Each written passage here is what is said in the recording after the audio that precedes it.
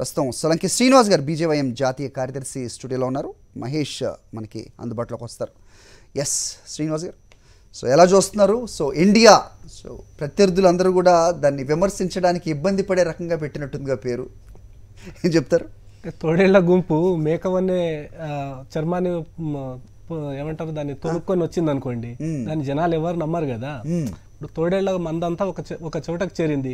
జనాలను నమ్మించడానికి ఏం చేస్తున్నారంటే ఆ మేక చర్మాన్ని వేసుకొని బయటకు వచ్చేటువంటి ప్రయత్నం చేస్తున్నాయి. ఇప్పుడు ఉన్నటువంటి వీళ్ళు నిన్నగా కొత్తగా నామకరణం చేసినటువంటి ఇండియా ఏదైతే ఉందో అది కూడా ఇండియా నుండి ఇండియాగా మారింది తప్పిస్తే దాంట్లో కొత్తగా చేరింది ఏం లేదు కదా. ఏదో ఇంకోటి మన పాత సామెత ఊర్లలో చెప్తా ఉంటాం అది మీకు పాజిటివా నెగిటివా ఎన్డీఏలో మాకు మాకు ఇప్పుడు ఒకవేళ నేనేమంటానంటే మాకు ఒకవేళ వాళ్ళు పోటీ అనుకోండి అప్పుడు మేము. పాజిటివ్ నెగిటివ్స్ అనేటువంటి రాజకీయ ఈక్వేషన్స్ అన్నిటిని మేము బేరీ చేసుకునేటువంటి ప్రయత్నం చేస్తాం.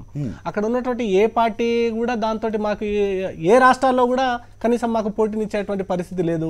మీరు చూడండి అక్కడ ఉన్నటువంటి కనీసం వాళ్ళ కూటమిలో ఉన్నటువంటి పార్టీలకైనా ఏ రెండు పార్టీలకైనా సఖ్యత ఉందా? ఇప్పుడు వెస్ట్ బెంగాల్లో కాంగ్రెస్ పార్టీ కమ్యూనిస్ట్ పార్టీలు తృణమూల్ కాంగ్రెస్ పార్టీ రోజు కొట్టుకుంటా ఉన్నాయి. కేరళలో కాంగ్రెస్ కమ్యూనిస్ట్ పార్టీలు రోజు కొట్టుకుంటా ఉన్నాయి. అది గతం. రెండు మూడు రోజుల క్రితం బట్ నిన్న లేటెస్ట్ మాట్లాడదు నిన్న అందరూ ఒకే వేదిక మీద కూర్చున్నారు కదా. ఒకే- వేదిక మీద వచ్చిరు కదా. దాంట్లో కూడా వాళ్ళు ఏం మాట్లాడారు రెండు మూడు విషయాలను మనం ఇక్కడ ఒకసారి పరిశీలించి చూస్తే ఒకటి మాకు అధికారం ముఖ్యం కాదు మాకు ప్రజలు ముఖ్యము ప్రజాసేవ ముఖ్యం అన్నారు. కానీ ఇదే పార్టీ ఇదే కాంగ్రెస్ పార్టీ. నిన్న ఈ మాట ఎవరు చెప్పారు? మల్లికార్జున ఖర్గే గారు చెప్పారు. మల్లికార్జున ఖర్గే గారి సొంత రాష్ట్రమైనటువంటి కర్ణాటకలో గతంలో రెండు వేల పద్దెనిమిదిలో భారతీయ జనతా పార్టీ అత్యధిక స్థానాలను సాధించి మెజారిటీ స్థానాలు అంటే మ్యాజిక్ మార్కుని చేరుకోని పక్షంలో रहेगा। ప్లేట్ ఫిరాయించేసి అప్పటి వరకు బీజేపీ తోటి ఉంది బీజేపీ తోటే లోపాయికారి ఒప్పందం ఉందని చెప్పి జేడీఎస్ మీద ఆరోపణలు చేసిన ఇదే కాంగ్రెస్ పార్టీ ఎన్నికల రిజల్ట్ రాగానే ఇమ్మీడియట్గా వెళ్ళేసి జేడీఎస్ అభ్యర్థి అయినటువంటి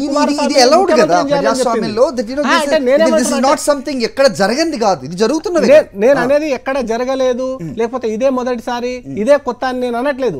కాకపోతే విషయం ఏమంటున్నా అంటే కాంగ్రెస్ పార్టీ యొక్క అవకాశవాద ధోరణి ఏ రకంగా ఉంటుందనే చెప్తా ఉన్నా. చివరికి నేను ఇందాక వెస్ట్ బెంగాల్ కేరళ ఉదాహరణలు చెప్పాను. ఆయా రాష్ట్రాల్లో వాళ్ళు రోజు నిత్యం కొట్టుకునేటువంటి పరిస్థితి ఉంది సైద్ధాంతికంగా భారతీయ జనతా పార్టీ లెఫ్ట్ పార్టీలు కొట్టుకుంటున్నాయంటే దానికి అర్థం ఉంది. కానీ ఇక్కడ ఉన్నటువంటి కాంగ్రెస్ పార్టీ కమ్యూనిస్ట్ పార్టీలు ఒకవైపు వెస్ట్ బెంగాల్లో చేతులు కలుపుతారు కేరళలో కొట్లాడుకుంటారు.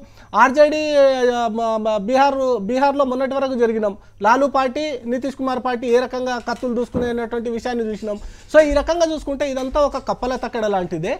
సో ఇది రేపటి రోజు నిలబడుతుంది అనేటువంటి మ- కనీసం అవగాహన కానీ లేకపోతే నమ్మకం కానీ ఏ రాజకీయ పార్టీలో కాదు. కనీసం ప్రజలకు కూడా లేనటువంటి పరిస్థితి ఉంది.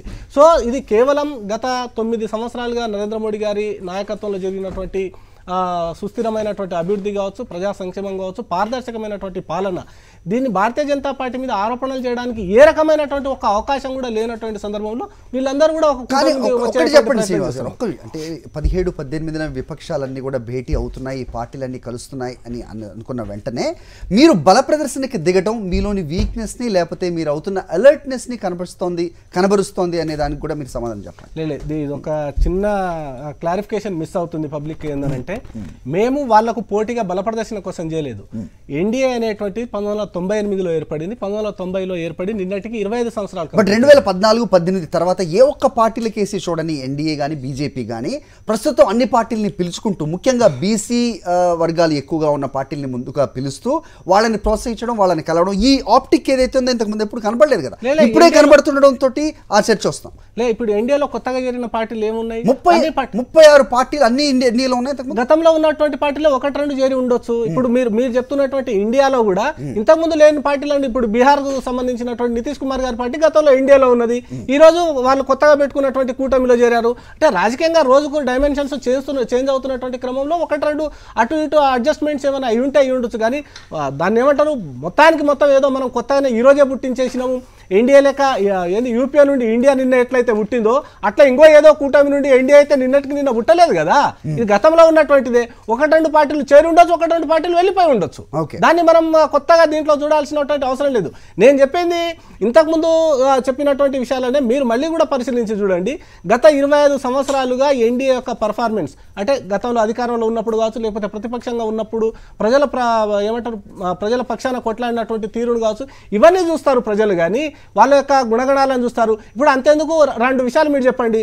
మన రాష్ట్రానికి మన తెలంగాణ ప్రాంతానికి సంబంధించి రాష్ట్ర ముఖ్యమంత్రిగా ఉన్నటువంటి కేసీఆర్ గారు కాలికి గజ కట్టుకొని దేశం మొత్తం తిరుగుతున్నా నేనే ప్రధానమంత్రిని అవుతా రైతులకు అది చేస్తా విద్యార్థులకు ఇది చేస్తా అని చెప్పి చెప్పినారు కదా. ఈ రోజు ఉన్నటువంటి రెండు కూటమిలు ఏ కూటమి కూడా తీసుకోలేదు. అదేవిధంగా ఢిల్లీలో చక్రం తిప్పుతా గతంలో నే- నేనే నడిపించిన మొత్తం ప్రభుత్వాలను నేనే దించిన రాష్ట్రపతి అభ్యర్థులను కూడా నేనే నిర్ణయించిన అని చెప్పినటువంటి పక్క రాష్ట్రానికి సంబంధించినటువంటి ఇంకో వ్యక్తి కూడా ఈ రోజు ఎవరు పట్టించుకున్నారు తీవ్రంగా లేదు. వాళ్ళు తీవ్రంగా ప్రయత్నాలు జరుగుతున్నాయి కదా ఆయన కూడా ఎన్డీఏలోకి తీసుకురావడానికి మీరు సస్య మీరు అంటున్నారా అది మీరు ఎట్లా చెప్తారు ఇండియాలో మీరు చెప్పండి లేదు నిన్న సాక్షాత్తు నేషనల్ మీడియా ముందు పవన్ కళ్యాణ్ మాట్లాడిన మాటలో పవన్ కళ్యాణ్ గారు మాట్లాడి ఉండొచ్చు బీజేపీ ఎన్డీఏలో భాగస్వామి కదా ఇప్పుడు అవును పవన్ కళ్యాణ్ గారు మాట్లాడి ఎన్డీఏలో. భాగస్వామి కదా.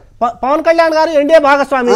ఎన్డీఏ అయినటువంటి పవన్ కళ్యాణ్ గారు ఎన్డీఏ కన్వీనర్ తోటో లేకపోతే ఎన్డీఏ పార్టీలో ఎన్డీఏలో ఉన్న పార్టీలతోటి చర్చలు చేసి అతన్ని కూడా తీసుకొచ్చే ప్రయత్నం చేస్తున్నా అని చెప్పారా లేదు కదా తన వ్యక్తిగత అభిప్రాయం చెప్పి ఉండొచ్చు లేకపోతే అతను ఏమైనా ప్రయత్నం చేస్తుండొచ్చు కానీ భారతీయ జనతా పార్టీ ఇప్పుడు ఎన్డీఏను కొద్దిగా లీడ్ చేస్తున్నటువంటి భారతీయ జనతా పార్టీ ఏ పార్టీని మనకు మా కూటమిలోకి తీసుకున్నా కూడా గతంలో చేసినటువంటి చరిత్రను కూడా చూస్తాం. రైట్ వాళ్ళు వాళ్ళు గతంలో వ్యవహరించినటువంటి తీరును చూస్తాం.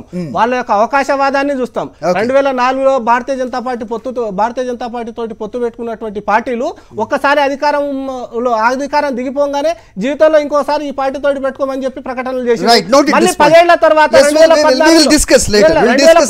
పదేళ్ళ తర్వాత మళ్ళీ అవే పార్టీలు భారతీయ జనతా పార్టీ దగ్గరకు వచ్చినాయి. మళ్ళీ కొన్ని రోజుల తర్వాత మా పార్టీకి సంబంధించినటువంటి జాతీయ అధ్యక్షుడిగా ఉన్నటువంటి అమిత్ షా గారి కాన్వాయ్ మీద నల్ల నల్ల బెలూన్ ఎగరేసిరు. రాళ్ళతోటి దాడి చేసేటువంటి ప్రయత్నం చేసిరు ఆ పార్టీల యొక్క గుణగణాలన్నింటిని కూడా చూస్తాము. అంతే తప్పిస్తే ఆ మీరు అన్నట్టుగా ఏదో పవన్ కళ్యాణ్ గారు చెప్పినంత మాత్రాన్ని వాళ్ళని ఎన్డీఏలోకి తీసుకున్నట్టు కాదు.